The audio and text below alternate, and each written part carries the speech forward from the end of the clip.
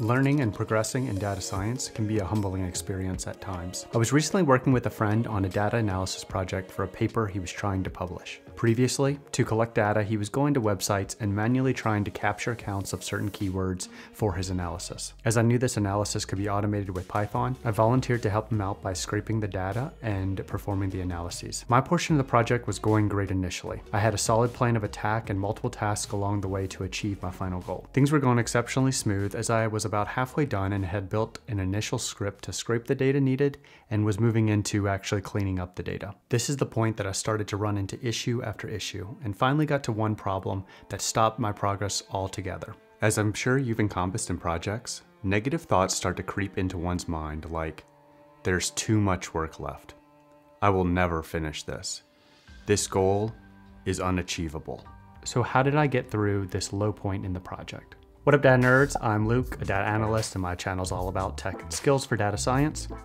And prior to my life in data science, I served in the military and during that time I picked up a pretty helpful tactic that I utilize in accomplishing and staying motivated with achieving my goals and my tasks. Even in my current role as a data analyst and with this project that I was talking about previously as I'll go to show, I continue to employ this tactic in order to maintain a positive mental outlook when trying to conquer any goal. So let's jump right into this tactic by going back to my time in the military and actually looking at how we applied this one tactic as a team for a large scale project. During this time in my life, my teammates and I would have very detailed and precise missions that we needed to complete. I was stationed to a submarine where we would routinely have to deploy to a part of the world to perform certain tasks and then return home safely. The overall mission would be broken up into a bunch of other major tasks itself.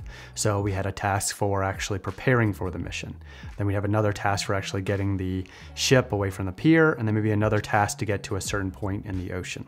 Now each one of these major tasks themselves were then even further divided down into smaller mini tasks with people assigned different responsibilities. So overall, this is the tactic. I break my larger goals into small achievable tasks that I know I can accomplish. From there, I focus my efforts solely on these tasks and I don't focus on the larger goal at hand. And along the way, as I'm achieving these tasks, I have mini celebrations. And those mini celebrations help reinforce that that major goal at hand is accomplishable. So the example that I just gave is being applied in a large scale. Let's look at this being applied in a smaller scale, uh, limited to an individual. I feel a great example of this is that of Marcus Luttrell, a Navy SEAL, that was captured in his book and also award-winning movie, Lone Survivor. Not to go into all the gory details, but the one event that really stands out to me is that of when Marcus is abandoned and alone and he's badly injured. And in order to get help and also escape danger, he has to crawl many, many miles to get help. Instead of thinking of the major task at hand of having to travel miles upon miles, instead he breaks it down into small achievable tasks. He would set goals of aiming to crawl to a certain object that was within sight. From there, he'd actually crawl to that object. Once he made it to that object, he'd celebrate that small victory, and then he would just continue to repeat this. He continued this process for over seven miles and eventually made it to a location to receive help, which ultimately led to his survival. So you're probably saying, Luke, how can you compare what that Navy SEAL went through to what I'm going through in my journey in data science? And quite simply, the negative thoughts that you're feeling with when you're going through data science are the same negative thoughts that Marcus was feeling as he was trying to make it through his survival. And the tactics that he used, I feel can also be used in what I've used in my life to achieve my goals. So how does one apply these concepts in data science? So let's give the example that you're trying to learn data science, you wanna become a data analyst.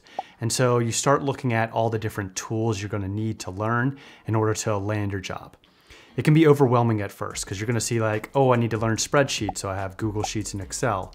Oh, I need to learn visualization tools such as Power BI and Tableau. Oh, there's also programming languages such as Python and R. There's also different databases such as MySQL and Postgres. And, and the list goes on, and this alone is just overwhelming to think about all the different tools you can learn about. So instead, let's focus smaller. And for example, we would, let's break it down even further. And let's say we wanna just learn one tool first. Well, let's go with Python. With Python, we would then also break it down into even smaller tasks to learn.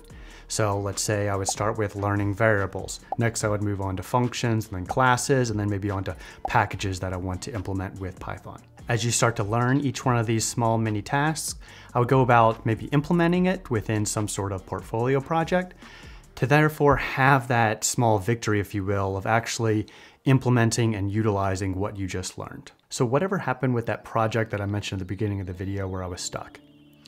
Well, embarrassing enough, I did find the issue eventually, and it was pretty simple actually. Python itself is case sensitive, and I accidentally mistyped one of the variables with a capital letter where it didn't need to be. So the main point of this is I was able to overcome this obstacle that I thought was just detrimental by implementing those tactics that I talked about previously. Mainly, I had that built up motivation from my previously achieved small tasks, and additionally, I was not focusing on the project as a whole, but instead just focusing on achieving the next task on hand. So I hope this helps provide you with a helpful tactic that you can utilize in your data science journey. I promise you, you are not alone whenever you have these negative thoughts or you have these setbacks during the journey, but you need to have some sort of plan of attack in order to overcome these obstacles and to continue to progress in this field.